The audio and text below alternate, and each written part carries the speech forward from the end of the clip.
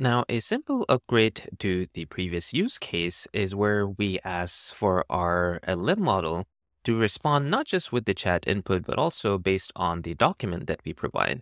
So in this case, we're going to provide some document from our flow, and also we are going to provide the question from the user. And the document that we're going to be providing is using a scraper. This is from Firecrawl.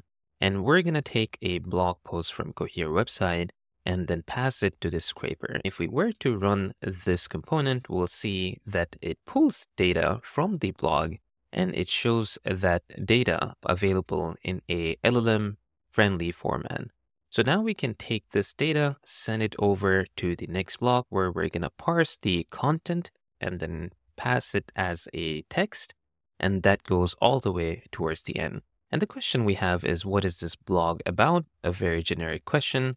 So if we run this whole flow, then we're going to see that it goes through all of the blocks that we have or the components that we have. And then we get a response back saying that this blog post is announcement of certain features.